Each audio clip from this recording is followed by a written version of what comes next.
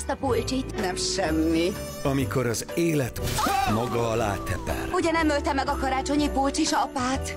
de az ünnepi hangulat Egy ember balesete egy másik sorsa. a szívedet melengeti. Ez annyira jó lesz. Nagyon jó. A szerelem karácsonyi pulcsiban érkezik. Soha ne csókolj meg egy karácsonyi pulóveres férfit. Ma este az Izaura tér.